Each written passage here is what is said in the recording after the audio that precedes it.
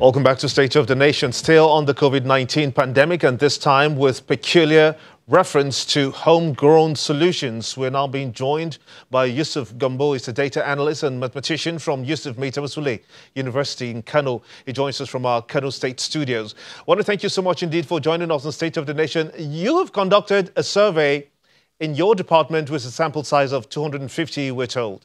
Um, tell us more about that. You adopted you know, verbal autopsy in that research. Let's talk about that a little. What you did, we understand, is you applied a mathematical formula in your research titled Transmission Scenarios for COVID-19 in Lagos and Kano States. It's a predictive one, we understand. But what parameters, if I may ask, did you deploy in your work?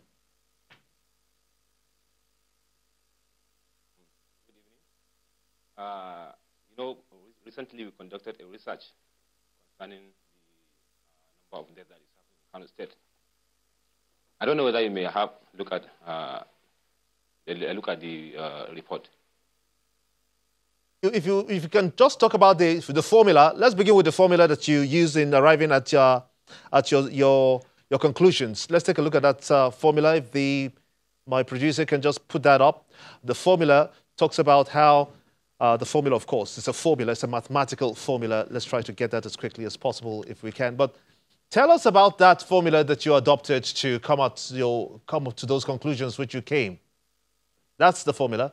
Okay, you mean the mathematical model, actually? Yes, that's the model. Yeah. So if you look at the model, like I said, uh, if you look at the, can you, can you go to the graph? I don't know.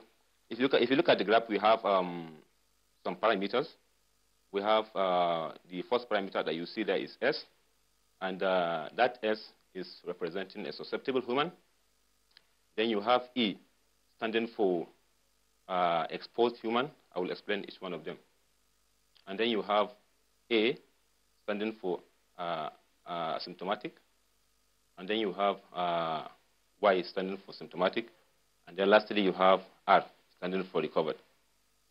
So when you said when you said some, uh, some susceptible, you are talking about individual in which. Uh, sorry. Can you hear me? Ahead, please. Don't stop. Just go ahead. Okay, okay. So when, when you say susceptible human, you are talking about individual who is at risk of getting an infection. While exposed human is uh, a, an individual who is already carrying the uh, infection but is yet to transmit it to other people. When you talk about uh, asymptomatic. There are those individuals in which they show no symptom even after getting the infection, while symptomatic people are those people that uh, show symptom after getting infection. So if you look at that graph, that uh, if you look at that, uh, let me say formula, it's just showing a schematic, uh, schematic um, uh, idea of how the, the model works. So like we said in the report, we don't have to show all the mathematical details because the report is basically meant for general uh, public. So when you try to bring all the mathematical details, then things are going to be, you know, uh, somehow.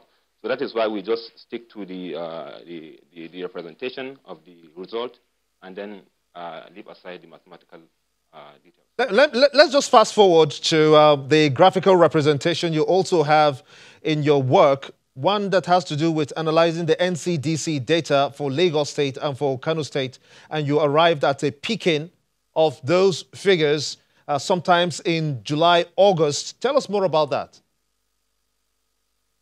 Okay, first of all, you know, whenever you make a good mathematical model, you first of all have to validate your data using a reliable source of data.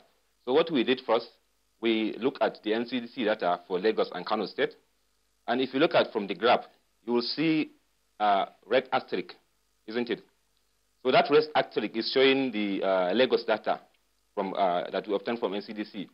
So if you look at from the graph, you can see that there is a very good match between our model as well as the data we obtained from NCDC. So the first graph for Lagos is showing the uh, scenario in which uh, you have uh, maybe 20% um, uh, reduction in mobility, as well as the current mobility that we are in. Even though I know Lagos, they lifted the mobility, I don't know by how many percent, but I know that there's no any uh, mobility in, in, there is no any um, lockdown in Lagos. So in the graph, you can see there are, there are, there are two colored lines, blue and yellow, isn't it? The blue is showing a situation in which uh, the state is in current lockdown, while the yellow is showing uh, a, a, scenario in which the state is in 20% lockdown. What we mean by that is if maybe the government decide to lift the lockdown by 20%, it's maybe by allowing people to go to uh, maybe to just uh, markets, um, let, me, let me say shops near, nearby, and, and so on. So uh, based on the result that we obtain, you can see that the possible number of cases that may arise when the lockdown is lifted by just 20% uh, is around um, uh, 7,000 plus, as you can see, isn't it? So, but that thick line is talking about the total number of cases, including those people that show symptoms, those people that do not show symptoms, those people that recovered, and those people that uh, that died. So, uh, so, but the the actual maybe number cases, number of cases, or let me say the number of active cases, number of people that show symptoms, uh, is the one that is having a dotted line. So if you look at that one, the number of cases it may not be uh, as high as the other one. In fact, it's around 300 and uh, let me say 200 and something plus. Let's look at the second, uh, uh, the next graph, which you have, which also talk about the mobility uh, and active cases, as well as uh, the cumulative mobility for normals and the normal mobility active and then the normal mobility cumulative as well. That's, that's the graph I'm talking about.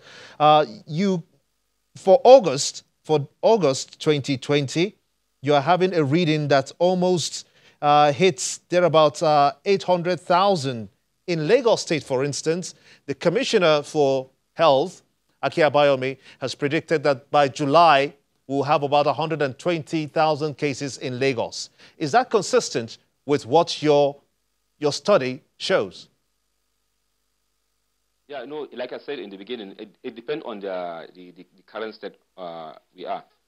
Uh, you know, I know there is no any lockdown right now in Lagos, but I don't know um, uh, by how many, by, by how much the lockdown is lifted.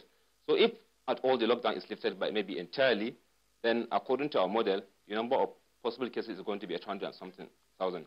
So perhaps what the commissioner is talking about is maybe when the uh, lockdown is lifted by some certain percentage, not generally, which is also in line with uh, what we are saying. Because if you look at our, our own uh, model, when you lifted the lockdown by just 50%, you have around 102,000. Oh, uh, what will be your recommendations now that uh, what we're faced with is an, a gradual easing of the lockdown uh, for Lagos and Ogun State as well as the FCT? Uh, what will be your recommendations looking forward? Because just today, the numbers have hit over 3,200 cases. We understand 3,500 cases, as a matter of fact, of uh, people that are infected with this virus. What will be your recommendation?